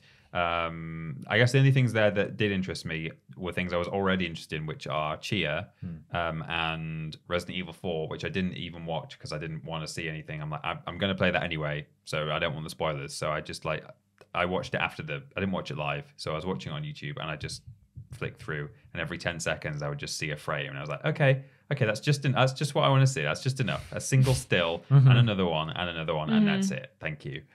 Um, what about you guys? I am really excited for Tchia. I've been kind of hoping for a release date for that for ages, and it's coming next month, and it's going to be on PlayStation Plus Extra, which my boyfriend already pays for, so I'm going to Free. get it. Um, and yeah, that's kind of the only thing that really tickled my fancy. Hmm. Um, there was that. What was the one? The fairies. Oh, goodbye Volcano High. Goodbye Volcano Volcano High. High. Looked kind of nice. That had big uh, sort of teeny bop angst drama Mm. to it, It kind of reminded me life a is bit of, strange. like, Life is Strange, Yeah, yeah. that kind Yeah. of stuff, but set under the pretense of them being dinosaurs, which is Mm. a bit odd, but you know, that will certainly find an audience. There was sure. also a weird game that I can't think, figure out like if I liked it or not. Humanity, which came from the creator Oh, of yeah. Tetris Effect, Mm. which was like a Oh, yeah, bunch the of like one. colorful people fighting off Bit like against people in Lemmings. black yeah, and white. that's exactly yeah. what I thought. like it was Lemmings. literally lemmings, but sometimes they fight each other with Yeah, lightsabers. and then also you can like create your own levels or Mm. play created Share levels, them. which was kind of interesting. Um, And towards the end, all the people got came together and turned into a giant person, and it was just legs. And I thought, if we were live, if we were that'd live, be right Is this- for the is Mm. this Is this legs? Yeah, yeah. Resi 4 looked great. Um, Yeah. Sorry, Peter, spoiler. It looked really it good. does look really It does yeah, look the- good. Really good. As I say, the three stills that I saw looked great. So Mhm. yeah. Uh, Goodbye Volcano High looks interesting. It was there, there were a handful of VR2 titles there as well that they threatened. None of them really stuck out to me, but there was one in particular that I felt kind of bummed out that it was a VR game because I thought that I would probably end up enjoying it quite a lot if it was not a VR game. Um, I think it's the one where you like move through your life or Before something your Before your eyes. eyes. before Yeah. your eyes. Okay. Which presumably is actually detecting your actual blinks. Yeah, Because it well- said like when you blink, it'll move forward. Well, that's Yeah. also what they're doing with the switchback, or what it's called, the um, dark pictures. Yeah. Oh yes, yeah, with the switchback. it's mannequins got like move weaving angel style. Yeah. monsters. Not- It's clever. But It's I, clever. I think that that before your eyes is potentially was a regular game before it's a VR game oh, using like a webcam Oh, eye okay. tracking. I Ah, think I think we've done a list about So it before. Yeah, so it came out in 2021. that's a shame So because I mean I get that that's like the whole point of it is Yeah. is the blinking aspect, but I just think the story it tells looks quite interesting, and I would quite like to experience. But you it don't have to play it in VR. on your controller. Yeah, Yeah, yeah. if I could the just blink with a button, I don't know. Anyway, that that was you know there was there was some stuff there. I think on the whole it was nothing really that exciting to write home about. But the main event, of course, was uh, Suicide Squad kills the Justice League. Rocksteady have been making this game presumably for eight years, but Yeah. or at the very least, it's been eight years since Arkham Knight came out. They hammered home over and over again that this is set in the Arkhamverse, Arkhamverse. five years after the events of Arkham Knight. So we saw a good chunk of gameplay and then an awful lot of buzzwords from talking heads at the uh, at the studio. What did you guys make of Suicide Squad Kills the Justice League? Are you interested in it? Are you more or less interested in it than before? And do you think it looks good? I'm less interested in it than before. Why does it have to be in the Arkhamverse? If they had released this, if they'd shown this game off and said, "Hey, we've got a new like DC game coming out. You play as a Suicide Squad. It's kind of a live servicey thing. Play with your friends. Here you go, enjoy." Then at least it could attempt to stand on its own merits. But like to actually try and pull people in in the earlier stages stages of development and say, it's an Arkham game. You're going to be playing as someone else, but it's an Arkham game. Mm-hmm. You know, I think some people might have had in their minds, perhaps optimistically, that it might be quite like a Batman Arkham game where, you know, it's kind of you you've got set objectives and you're going around yeah, maybe in a in a multiplayer format, but kind of in other in most other ways quite similar to a Batman Arkham game, similar combat and stuff like that, perhaps.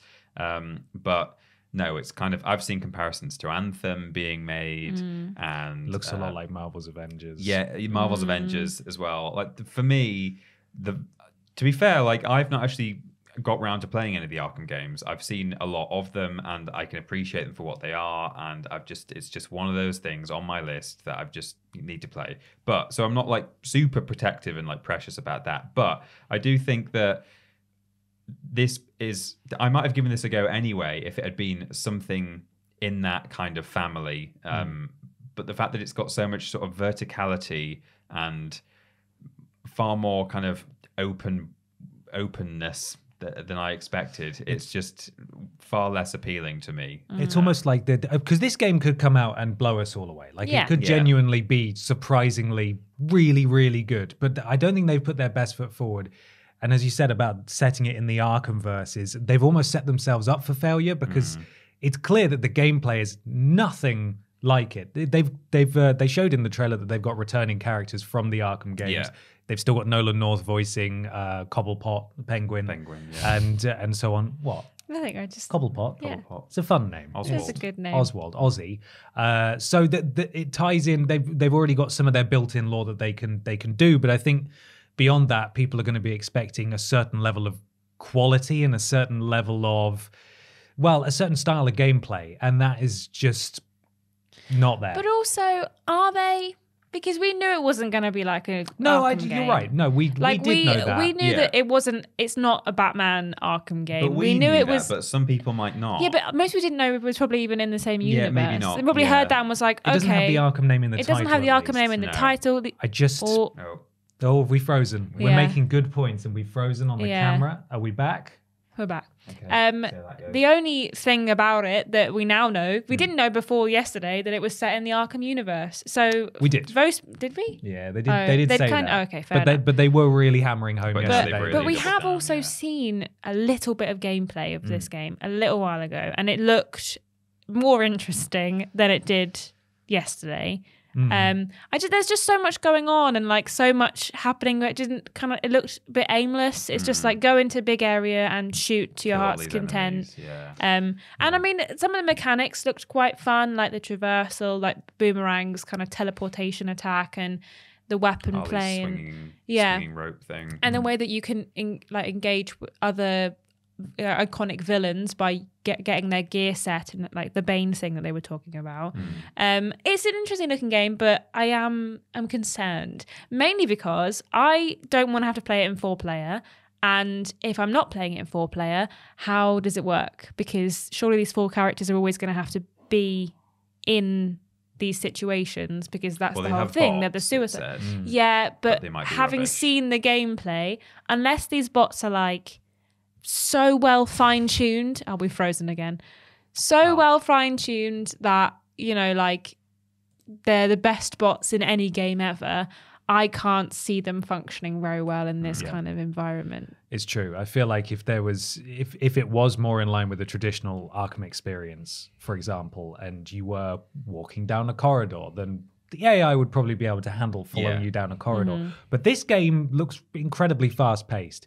There was a very very small amount of time in the gameplay that we were shown that any of the characters were on the ground. Mm. Mm-hmm. Uh, you you know most of them were hovering and flying and zip lining and stuff, and it it did look really fast paced and genuinely quite fun. And I reckon once you get the hang of it, that w- it will be pretty flippin' fun to play. Mm-hmm. But because of that style of gameplay, the areas need to be really big and expansive and l- with lots of room for you to move around. And I feel like you're gonna lose some of the perhaps the focus and hmm. not necessarily charm, but you know what I mean. Like again, it's being in the Arkham verse and remembering what those games were like. I, it's going to be very different, and that's not necessarily a bad thing. But it was when they started looking at gear levels Yeah. and stats Battle and pass. red arrows. there's a pointing up and down. cosmetic battle pass, and you're constantly going to be putting new loot in and stuff and loot levels, and it and was all the just guns were like completely customizable. And I and I said last night when we were watching it, I'm too stupid for that. Yeah. I can't do that. Let me pick up a gun. stuff. I don't want to have to. I don't have to think about this. I do mm. think though, visually, Yeah. looked great. It did. Like Metropolis looked really, really Yeah. pretty. All the character designs were really good. Mm-hmm. They've made Harley Quinn look like Margot Robbie when she's not got her makeup on, which is kind of interesting. But I think that it looks really, really great, Mm. and This that's is at the least thing, one though, good thing. with it being Metropolis, like it did look good, but that's another way that this there's just such a contrast from the Arkhamverse because you know Gotham is by design a dark, dirty, rainy, hmm. gloomy place.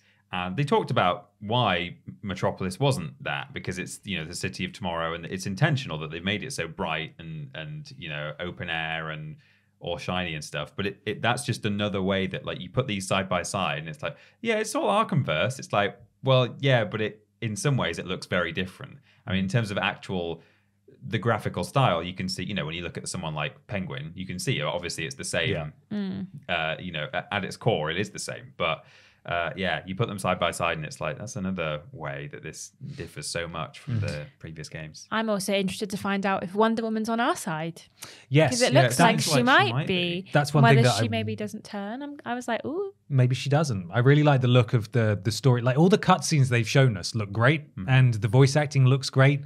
But then it was when they got into the gameplay and they're all quipping away with you can tell from just a handful of lines that you're going to hear endlessly. Yeah. like oh, I'm I'm too bad, That's gonna leave a mark. and it's just yeah that stuff. I mean it's it's a video game Yeah. and that stuff's going to be in it. But and we knew that this was going to be live service. That wasn't a secret. But I don't think we really appreciated quite how live service it was going to be until we sh- saw a bit more. Mm-hmm. Mm-hmm. And when they did the developer talking heads, you could not move for buzzwords that usually people relate to live service games. Yeah. And as we've talked about on this podcast before, everybody wants a piece of that live service pie because if you can even get a crumb of that pie, it's incredibly lucrative. Hmm. And they said, you know, we're going to keep updating it. There's going to be new characters, that sort of stuff. So once you finish the main story, you know, you can still keep playing. But what I'm really worried about is that I'm going to be there for the story and that's what I want. And I'm going to get two hyper focused introductory missions that are really narratively heavy. Yeah. and mm. then it's going to open up and the map's going to have like daily objectives and you got to log in and do your dailies and all that kind of stuff just like Marvel's Avengers did and it's going to completely lose me.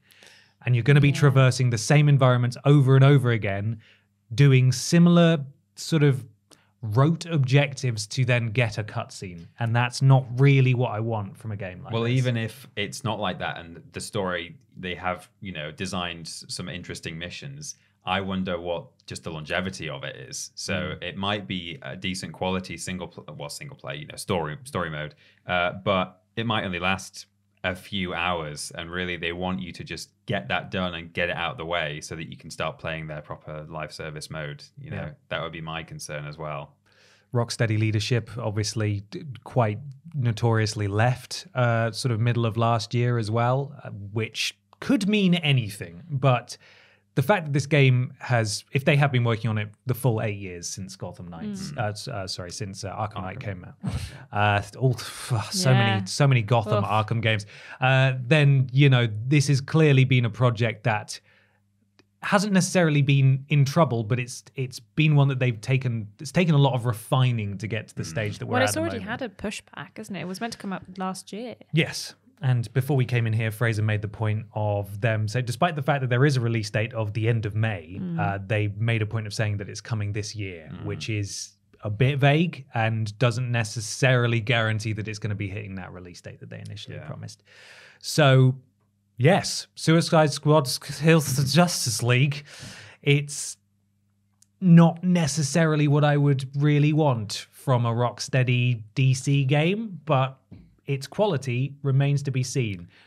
My faith in it is a little shaken though. After I this. feel really stupid that I didn't realize it was a live service game until you literally just said we know it was a live service game. I didn't know they that. they sort of I know they that, like, tiptoed around when it I for was- a long time because it almost feels like a dirty word. When I was watching it, I was like, sorry. this sounds like a live service game. Like, uh, but I was like, mm, maybe it's not because I don't know if it is. Mm. And then there, I guess I just found out that it is. It's not like shaking my faith in it. In oh, oh, Hello, camera. Can you please camera. behave? We've only a couple of minutes left. It's not shaking my faith in it in the sense that when I heard it was a live service game, I, I kind of switched off immediately. So, Mm. and I wasn't really surprised by anything I saw in that. I thought maybe in some ways I was surprised in a positive way. I thought it looked better than I expected.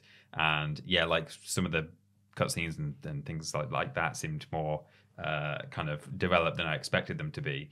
But yeah, it's, um, I wasn't overly shocked by what was Yeah. shown to us. And, yeah. I love the setting. I love the premise. Flipping Wonder Woman getting Flash in the lasso of truth, and he Yeah. he said, you know, he get he, the spell's broken, and he says you have to kill us all. That's the only way mm-hmm. to do it. And I'm like, yes, this sounds super interesting. Like I want to I want to experience this story, but then I know that I'm going to be flying around this big empty city, Yeah. doing repetitive it's objectives to get loot. Uh, to grind oh we've frozen again to get my loot gear up so that i can do a later mission like it's just that's going to really appeal to some people, and that's great. And I'm I really hope you enjoy it. And I am going to play this game, but man, I just wish it was perhaps the, the the story and the premise feels like it might be wasted on this kind of game, and that's the reason that I'm there really. So there we are. What Well- did you think? Yeah. Let us know in the comments below. What do you thought about Suicide Squad Kill the Justice League? And if any other games at the State of Play took your fancy. Yeah. What else did you like or not like? in Yes. State of Play? Absolutely. You can tell us all about it at uh, Team Triple Jump pretty much everywhere you look. YouTube.com and twitch.tv forward slash Team Triple Jump. It's where all of our videos and live streams happen. Um, when we're streaming on both YouTube and Twitch, we are modded by Lord Brotovich, Trialing Badger, and Mr. Black. If you've got Amazon Prime, part of the package that you are paying for already includes a Twitch sub. No extra cost, it's already in there. So you can spend that on us if you like.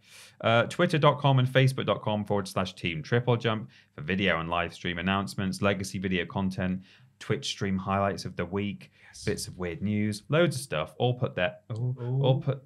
This camera is so unhappy. Fraser. We'll get to the end. Um, TikTok.com forward slash at Team Triple Jump, where all of our TikToks are posted by Ashton, and Patreon.com forward slash Team Triple Jump for loads of tears. Maybe we'll be able to afford a new camera cable um, if you head to Patreon. and- Audio listeners, it is flickered about seven or eight times during Peter's sentence. Yeah. yeah. Uh, so head to Patreon and look at all the tears. Please do. like, please. Please do. We have a website, triplej.mup, triplej.mp, spells jumps, very clever.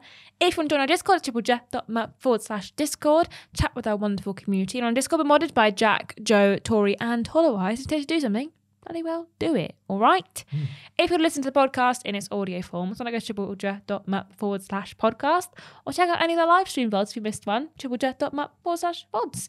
And if you want to book a cameo from any of us free or Japes Jenkins, you're triplej.mup forward slash cameo. You want to buy some sick and cool merch like that, Uh, like that, and this? like that, like that.